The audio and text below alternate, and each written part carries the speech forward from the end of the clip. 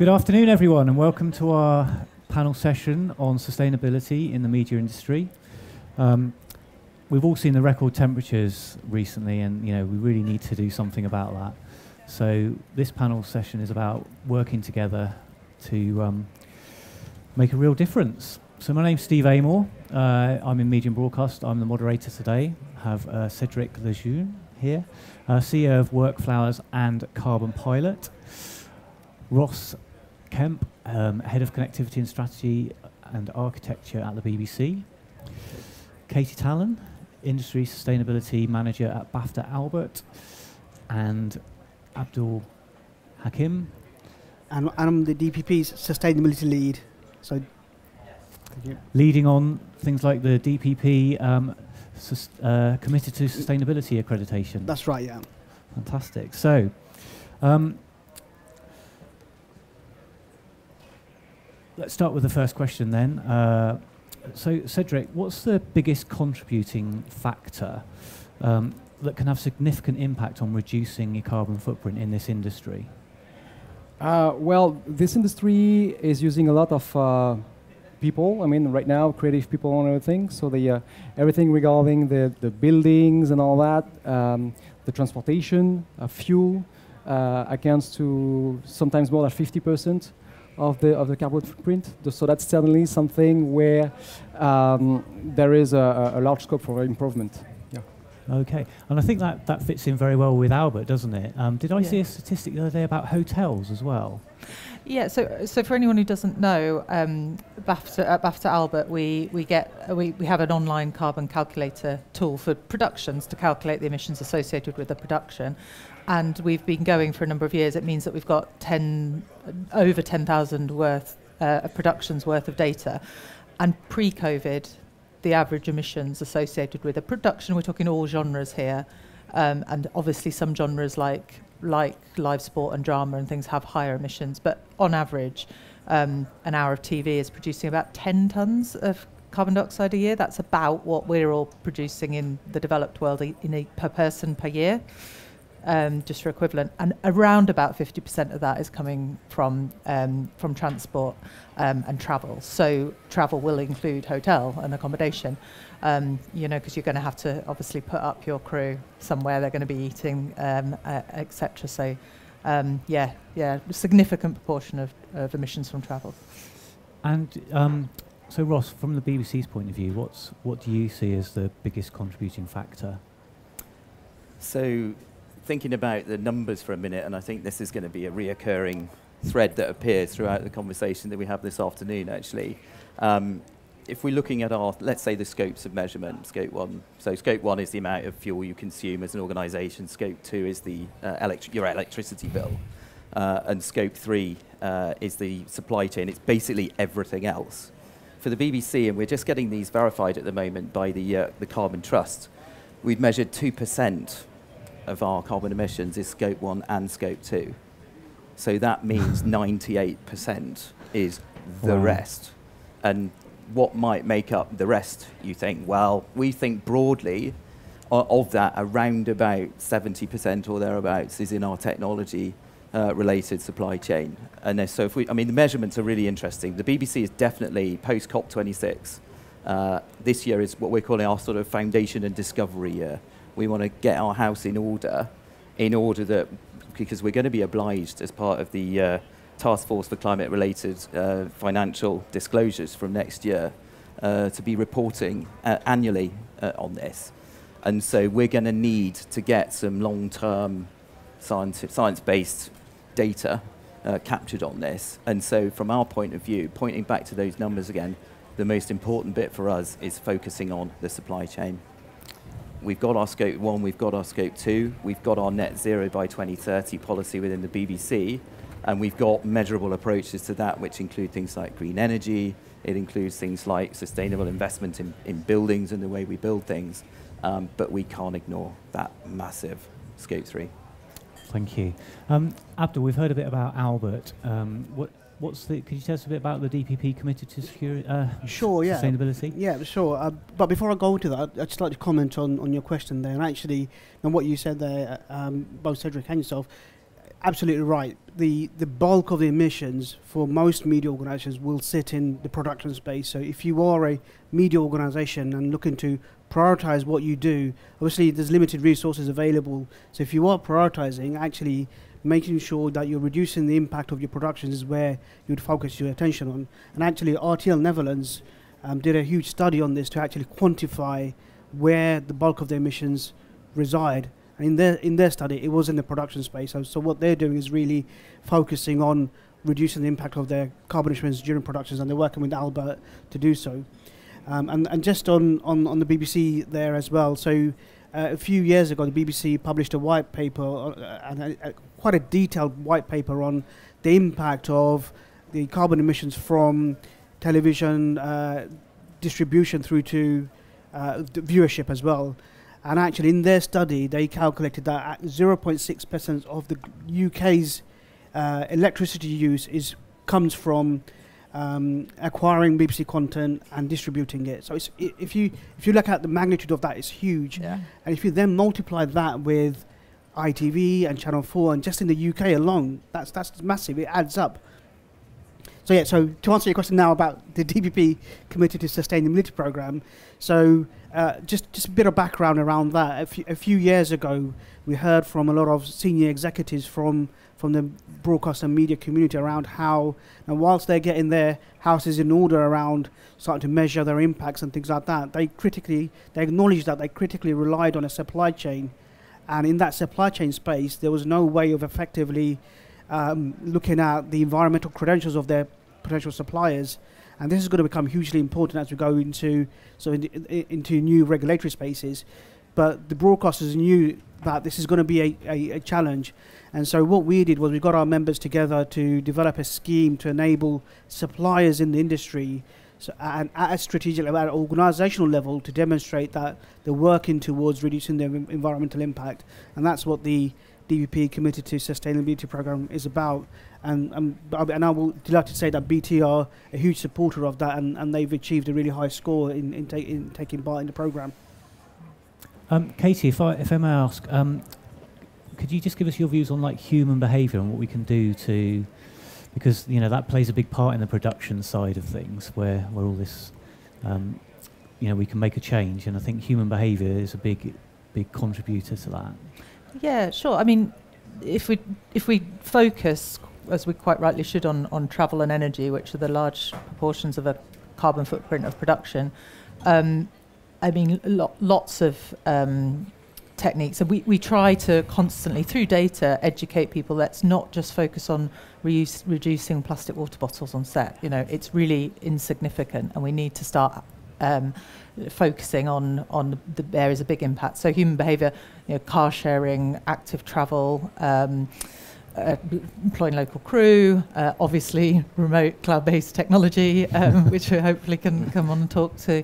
Um, yeah, all things that you probably know. But uh, uh, it, what's really important is that as crew, I guess, and, and producers, we feel like we can take action and that we're making a difference because it's only in that action space where you feel positive and optimistic, I think. And uh, when you sort of just feel like you're in a polluting industry, it's not as um, heartwarming, I guess. You know, it's nice to be part of a, a cutting edge, sustainable um, industry.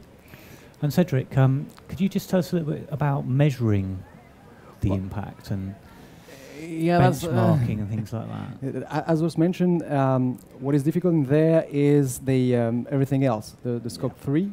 You know, they uh, um, we have to get. I mean, in the in the GHG protocol, so greenhouse gas uh, protocol, th th there is a, a methodology that is international and everything, but it just gives guidelines. So it's actually extremely difficult to compare within that framework between one company and another.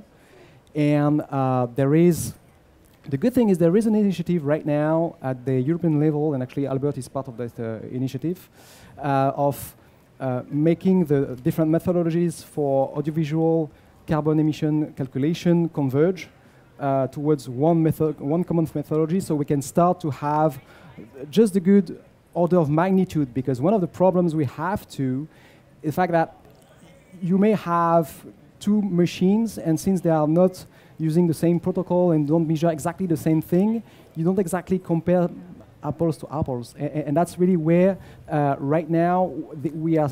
I mean, we are still at a very early beginning of this process. Right now, uh, a carbon assessment is a, is mostly something you do to get people aware of, of, of this problem and get into the process of calculating things but it might be a bit deceptive in a sense that you calculate something somewhere and somewhere else, and you will have completely different result. And I want to say completely it can be uh, 20 and 80 for the same thing.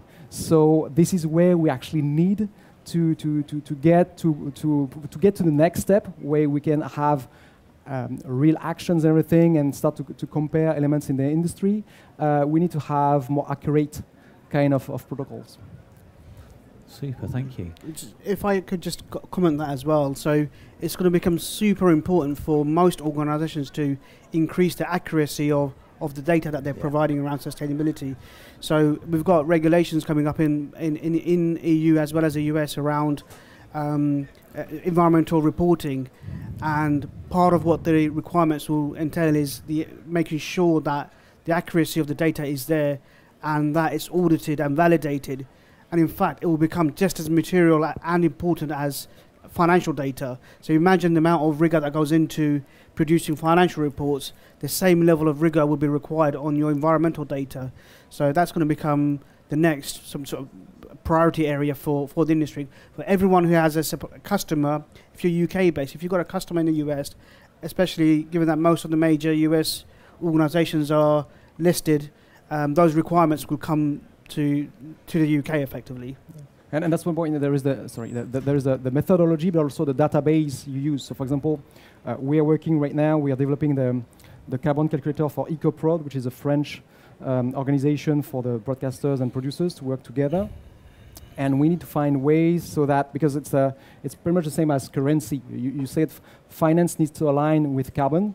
But right now, uh, we don't have the concept of common currency where all the stuff measure the same thing. So we need to agree on the fact that, okay, a camera is this. A, uh, uh, uh so we all use the same um, tools and numbers to, to be able to add them. It might sound stupid, but that's really where we are today. So sometimes it, it, it, can be a bit uh, difficult to make that happen. So Ross, I know the BBC have been collaborating with um, some of their supply chain already. What, what, what have you been talking about and what, what benefits does that bring? So from our point of view, the supply chain, going back to the point I made before, is, is, is absolutely key. And actually, we've looked quite closely uh, at our own supply chain, and actually, we think broadly 60 out of that 70% that we're looking at comes from pretty much our top six suppliers. Uh, the joy of which, of course, with BT being, being, being one of those. Uh, so happy occasion that we can work together on this one. And actually, it was off the back of the DPP Leaders Summit last year that a conversation got started uh, about what we could do um, if we were to work together within the, the, current contracts and without moving too far out to make it too abnormal, not pushing more money in, for instance, into the financial side, which at the moment would have the unfortunate effect of making us appear to be worse because the current measures are unfortunately looking mostly at finance. So totally uh, committed to the point that we're making about having measurable uh, components moving forward, science-based uh, measurements. But uh, so far, we've set up a number of work streams uh, in this collaboration, and the one I think that is most exciting is really quite a simple one. Uh, it's the concept that in modern televisions, when you've got fully saturated pictures, you're using considerable more power uh, than when they're showing a black screen. And so one of the things that I was hoping Mark, he's not around actually at the moment, Mark Patrick from the BBC, who's done a little bit of research on this, very crudely, uh, with our Blue Room friends, uh, also a part of the BBC who look into uh, technology futures and, and, and so on. Uh, and he simply made the point from this basic experiment that a single screen showing full color bars, which is what most of our industry use as park sources uh, to leave some sort of confidence feed on a television, uh, can use 100 watts more power than when that television is just showing black. And so if you look at that as a saving, the equivalent of a good old-fashioned 100 watt tungsten light bulb, most of which we've managed to get rid of in the UK on the grounds of their uh, consumption, we can already start thinking of this in several different ways. We can talk about educating those who consume on televisions about some of the benefits of buying modern TVs at the one end, but let's get the industry ready at the other for the next time you do a gallery replacement of your screens or whatever, uh, and make us start questioning what we'd actually use as our park sources. So we're going around with a bit of a sort of campaign at the moment in IBC this year about a topic we're loosely calling eco bars. What do we use bars for? They're a confidence feed that a signal is there. Do they need to be fully saturated colours that historically used to be used for lineup and a number of other things as well? Probably not. Let's get this concept out in the open now. This is a discussion that we're sharing with BT as a supplier and a partner, but also BT as a broadcaster. So it's something very relevant in your blood just as much as it is in ours. So if we can get that out there, the next time we're looking at our refreshment of signals, the next time we're looking at what we do in this space, maybe we can use eco bars as a way of pushing something forward. Uh, other areas, another fairly obvious bit of low-hanging fruit, but probably also familiar to us in the industry, switch stuff off. There's loads of stuff sitting there that is just left on, humming away at the moment uh, in our apparatus rooms and spaces. I've spent 22 years in the BBC mostly building things. Um, other than when we closed Television Centre, um, I would be the one to admit I probably haven't turned as much stuff off over the years uh, as I've installed and put on. And just, just while I'm holding the floor, one other area, there's five in total, but a third one um, of relevance here. What cost is coding? You know, the higher the qualities, the higher the resolutions we as an industry are putting out at the moment, are they really conscious of just how much additional cost is going into making the highest end of 4K and 8K content? end-to-end cost. I mean, after you made the point about the, the BBC's consumption in the home is the 0.2%. If we've suddenly got 4K and 8K content all over the place, uh, and it's become a common thread, how much more will we have made that number go up? So there's a lot we can do within the grounds of our existing relationship, and I think that's really important because, one, one, in fact, one other of my colleagues is wandering around at the moment, and I asked him for uh, a few thoughts on this one, and he said it's fundamental. He said it's just down to human behaviour. Mm. There are so many things that we could do in each of these spaces that will actually make a difference. And provided many, many, many of us make just that little bit of adjustment, this will make a huge outcome. Yeah, uh, on the te technology side, totally with you. There's so much improvement, and it combines with with behavior in the sense that um, uh, five years ago I used to have a graphics workstation, and when I would switch it on, it will eat one kilowatt, whatever I do with it. Now with newer technology, yeah. as, as, you said, for, because it was exactly the same for for TVs, with CRTs it didn't think it is because now we have newer technologies like LED and everything that are more power efficient that we can use that. But exactly the same with uh, PCs and everything. My PC at home, when I'm doing emails, it's 60 watts. When I'm doing some uh, video editing, it's like 150. And when I'm doing real-time 3D stuff, it's 240. And it's also very important because in, in our tool that we develop to help uh, design uh, scenarios and, and, and workflows, um, we get, gather that data so then we can provision the right amount of electricity and also uh, cooling systems because cooling systems have a terrible impact over the environment. Have to consider that the, uh, um, the, the, the, the, gas that I use in cooling systems uh, have a, uh, a, heating, well, they, uh, the, the, uh, in French it's PRG, but I don't know in, in English, but the, the, the, the, fact that the, the impact of those gases is one to 3,000 times worse than CO2 for mm. the, uh, the, the, warming effect. Mm. So every single, and, and, and do the, the, the cooling systems, they do leak. So, and, and the bigger they are, obviously the more they leak. uh, and so the, the, the, smaller you get your cooling systems and the, the most fit and lean your infrastructure is to actually um, get your service done, first uh, will cost you less, and especially on the energy side, it's becoming a, a, very hot topic, and that's also something we try to in our tools because it's, it's, it's suddenly there, but also on the carbon footprint, uh, at some point you can really uh, have a, a, better understanding. So we need statistics, we need more information coming from the people using stuff, and we need them to collaborate because right now we have silos, so people start the machine because someone will use it, yeah. but uh, getting stuff off is actually talking with someone to know when will you use it and when you will use and, and, all that stuff. Automating that is actually a, a, huge task. It's extremely difficult. And I guess uh, coming back to the human behaviour thing again, it's about education. Mm. Yes. Yeah, definitely. Like I, I'll, I was going to round off this this section actually with education. So, um, and the carbon footprinting can be a great education tool because you can produce pie charts and really see yeah. those areas of impact and where think you you know your role in it.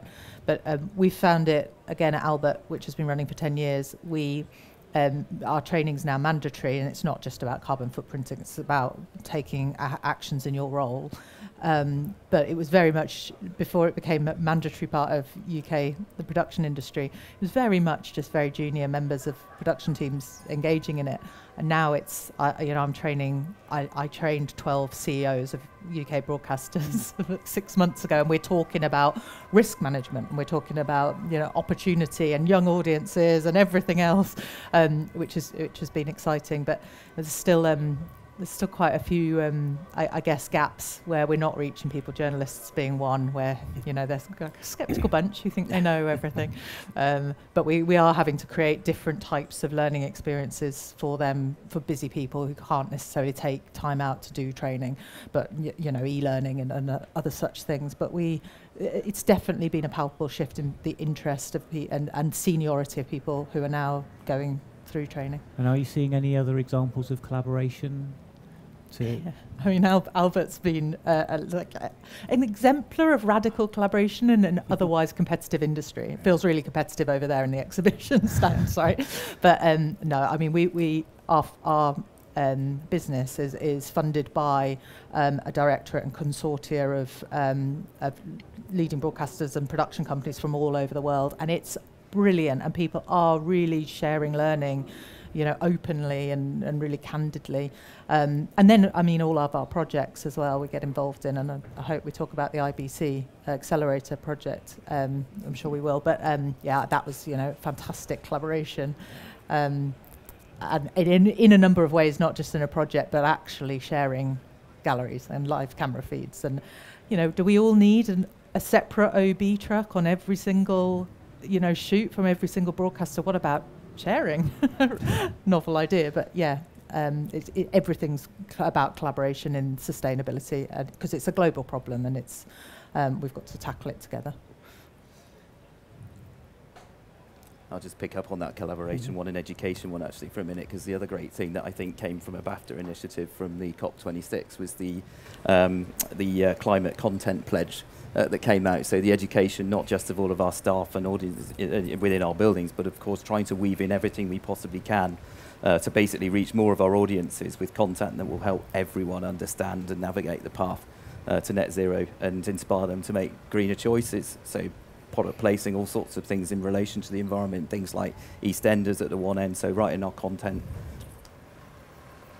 Thank you. Um, There's a question over there, Stephen. Oh, sorry. Yeah, we have a question.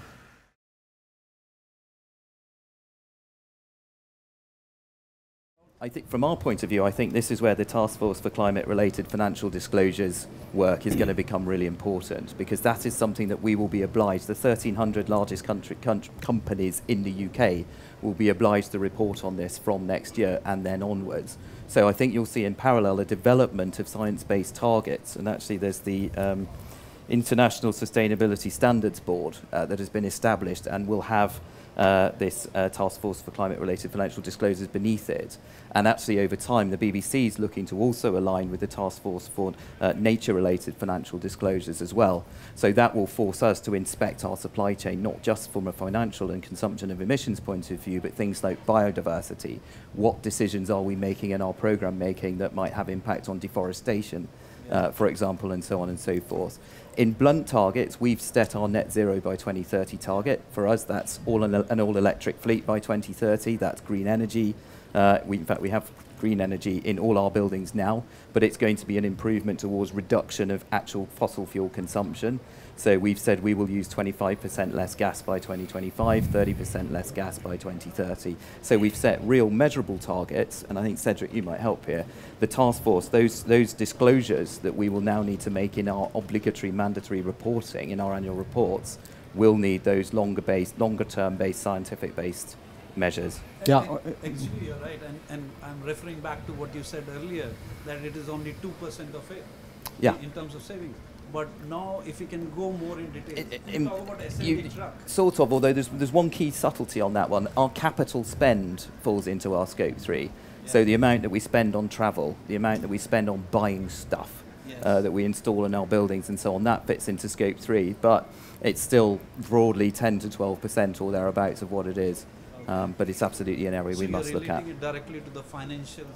Yeah. Well, that, that's sorry. That, that's that's where actually that's the first step finance because as you said earlier, the problem is if you only look at finance and apply a factor to it, the only way to reduce is actually to reduce the business. Doesn't doesn't work. So the next step is actually to have what is called a bottom-up approach. So you actually measure the equipment. You get the uh, so you can pick between two technologies, the one that has the least impact, and it may actually be more expensive, but have a, a lesser impact and, and this is where actually the, the, the financial abstraction uh, doesn't work. So fi- the finance uh, uh, way of doing it is, I would say, a, a great way to go quickly to the right space. But then once you get into actions, you need to have a bottom-up approach.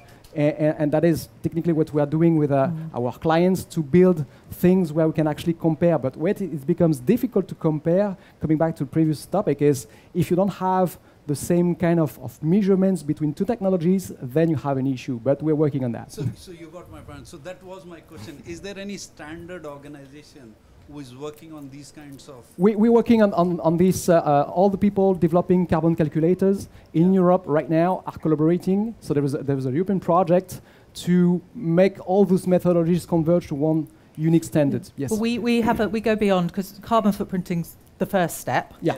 And the next step is reducing those emissions, and then finally offsetting any unavoidable um, emissions is the sort of gold standard. But at, at Albert, we certify productions as carbon neutral, sustainable productions, but they have to have met certain criteria. And because the Albert certification is mandatory for all UK uh, produ- productions and commissions, we are driving down emissions. You're not allowed to take a domestic flight um, in, i to be Albert certified. Um, and we also have a transport hierarchy, so you have to have shown how you've worked on reducing your transport ema- related emissions and, and made sure that you've, you're taking sustainable um, options where possible. So that's one way that we're, we're sort of sh- showcasing that, that reductions are, um, can happen. Um, and on the financial data point, the BBC recently partnered with Carbon Trust, who did an audit comparing the bottom-up approach, comparing just the financial approach, and, and you know did find, although there's flaws in in our methodologies as we're talking about, but that that definitely that's the way forward. Um, the more granular, you know, uh, data. So, certainly in, in the broadcast and media industry, there's a lot more that needs to be done. And, and we're, we've made a start, but certainly there's more to be done. If we look at other sectors, so in the telecoms industry, so the GS, GSMA um, and a consortium of mobile network operators, including EE and others, have partnered together to develop something called eco rating devices. And that's a great example of the industry and community coming together. That kind of approach won't work together work in our sector because our sector operates differently. In the mobile space, the telco uh, the telco operators, the mobile network operators, they've got a lot of buying powers because they could influence their suppliers more heavily. So what they've actually done is they've worked with um, mobile phone manufacturers, most of the major manufacturers apart from Apple and, and Google at the moment, but all other major um, phone manufacturers. And for each of those devices, they you are able to get a new a standardized nutrition label for each device. So if you're buying a handset from any any mobile phone operator now, you go in and see what the environmental credentials are, and what they've set on is five different metrics which they measure effectively, and they include things like the repairability of a device, the recyclability of a device, the carbon emissions, energy consumption, and there's one other which I forget. Um, but actually, we could learn from that. Yeah. So one of the things that I've, I've been trying to advocate in our industry is actually, can we get to a position where at least qualitatively, forget doing it quantitatively because that's going to be difficult to begin with, but at least qualitatively, can we use those five kind of metrics to describe our products but in, in, in prose effectively? So you've got an opportunity there to you know, describe whatever product or service you're providing um, using those metrics in, the, in, in, in those considerations. And actually, um, I was just um, at the Google stand earlier on, and with their Google TV product, they've done something similar. So they've taken a similar approach to using these five kind of metrics. I haven't seen exactly what those metrics are, but they've done something similar. So I think there's there's a lot we can learn from that from the from the mobile phone industry. And what they've achieved is absolutely amazing because they've used a common um, assessment approach as well. We've spoken a lot about um, about calculating. Um, so, if people are, doing that, what's the one sort of thing you'd say to them to be aware of, apart from the scope three? What's the what what should they really be aware of when they're calculating their carbon footprint?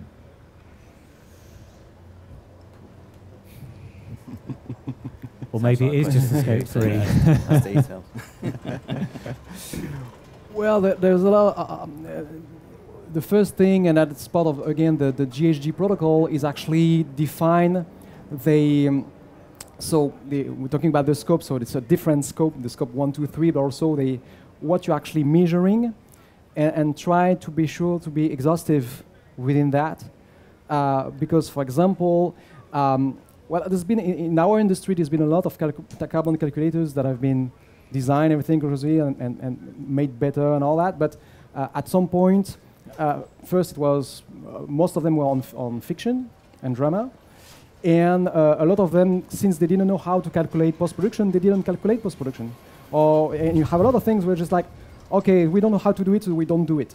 So that, that and that's sometimes a bit deceptive because you miss. I mean, at least you need to find ways to estimate and, and find the balance because if you miss, I mean, it's, it's, it's for example, in an extra financial report, uh, it's this thing that companies provide to their shareholders and everything, and, and it starts with actually what did we calculate, and you just have to, to say, okay, I didn't take account of the transportation, thing that. I mean, you, you, you, can, you just define you know, in, in, a report, what you measured and what you don't measure, it's not exactly there. But some stuff can be extremely important. Some stuff is constrained. Something just like you people get to the office and eat stuff.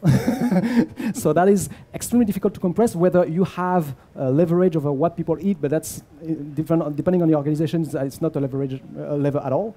But then it's uh, if you want to be able to compare things between different companies and different um, uh, you, you need to define the, the, the, the same um, things you will measure. So depending on the uh, goal, if when people get into the, um, uh, you know, the, the, the, the action and, and, and, want to, to measure things, the first thing they need to ask themselves is what I'm measuring, what I will be uh, missing, and, and why am I measuring? Because if it's to compare with something else, you need to be, make sure you, you measure the same things. So it sounds like actually, um, if you're embarking on this journey, um, be aware that there is a lot of work to do. Oh yeah. Um, there's lots of people to help you, and it's great that uh, CEOs are buying into all of this as well.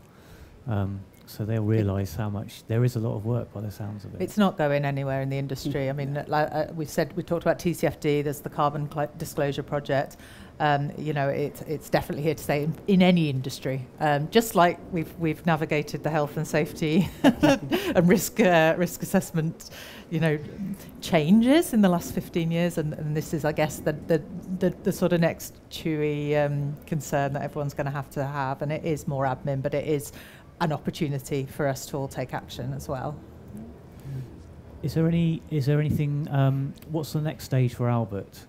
Is there because you had uh, like a um, for production and then people that companies that support production? Uh, uh, yeah, I mean, we uh, we just touched on the climate, the, the on-screen opportunity as well, and, and, and absolutely, like we've got a footprint as an industry, but we've got what I call a brain print, so we can reach audiences, and you can do it through David Attenborough shows, or, you know, on the environment, on the nose. But you can also do it in sports programs. You know, if you're just just talking about a, uh, a, a sportsman who's or woman who's uh, trying a plant-based diet, you know, or, or sometimes it can be really just what we call it planet placement, and that's that's actually where we we can have a superpower to shift culture and get policy buy-in and support for sustainability.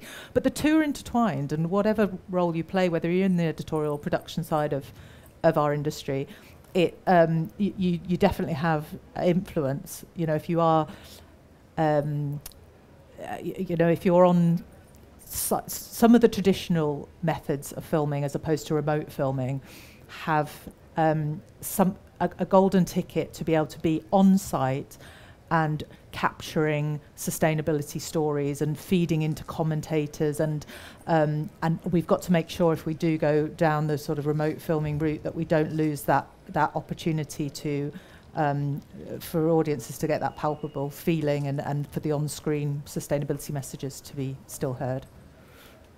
I think just equally as well in the so that, so that's clear in the consumer space, but as an industry in the in, in the business to business space, obviously we're at a trade show here today, and so I haven't wandered around every single hall yet, but I'm, I'm trying to observe where there's messages around sustainability on on the stands, and I was quite disappointed to be honest. There's n- there's Mm. not that many stands. I've I've only come across three stands that have the word sustainability on their on the branding.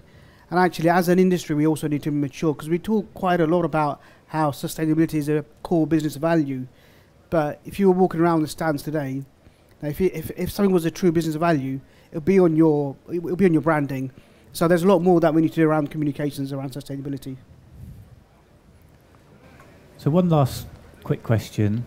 Aside from remote production and using the cloud, is there anything that we learnt from lockdown that perhaps we didn't realise?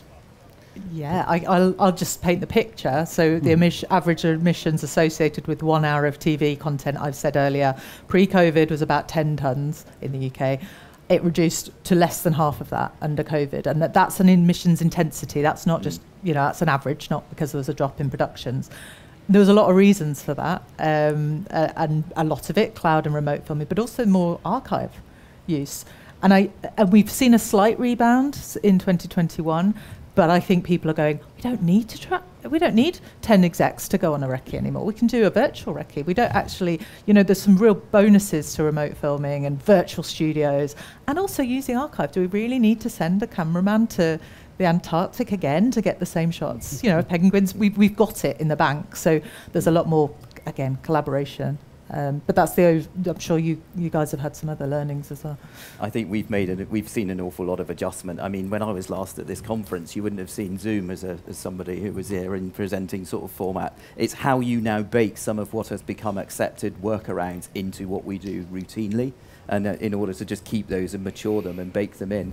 Um, if Morrowan was here from uh, from our News Gathering UK operations team, um, she would take this, the lights of Zoom and the remote, the, the remote, the capacity to remotely contribute has made has been a game changer uh, in her organisation. We would often need to choose uh, guests, bearing in mind where our radio car was, where our vehicles were. Can we get one of the fleet over to them to get them on air, to get them to be interviewed? Now we can pretty much pick and choose who we want to interview, when we want to interview them, because we can get to them in their own homes using the technology has been an absolute game changer, some of these techniques. Many of them, I mean, we still happily accept people being interviewed on Zoom, on, on flagship news bulletins, on the telly. That's just normal. And so I think that's probably been the largest change that we've seen that I would certainly want to see baked in for the long term. Yeah, I believe there's also the thing about um, thinking about it before doing it. In COVID, you had a lot of constraints, so you were there just like, how am I'm going to do it. Whether before we had a lot of let's do it and just like whatever it takes, you know. And um, and planning is the essence of carbon reduction. It's uh, planning and mutualizing. Get thing, get people together to find a solution before you're doing things, not just like oh, what we did, ah, it could have been better. You know, and, that is certainly something where, as an industry, we can make a, a, big improvement by providing guidelines and experience and everything. And Albert has been doing great stuff with the, the, the um, uh, yearly report with data and everything, and and and, and good uh, just experience. You know that that can be shared with people, and, and then oh, I'm let, let's let's try doing next time anything, and let, let's plan for it.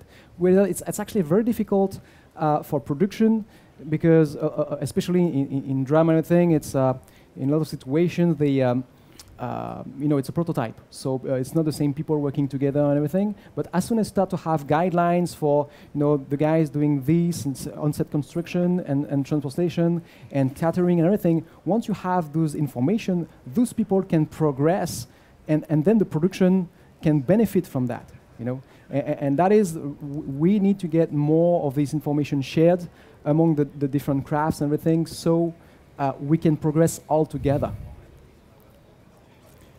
Does anyone in the audience have any questions?